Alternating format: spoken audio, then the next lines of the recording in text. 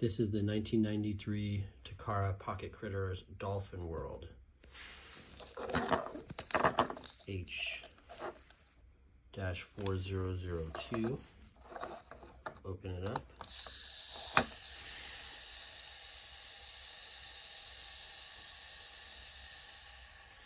It's working correctly. Lines nicely.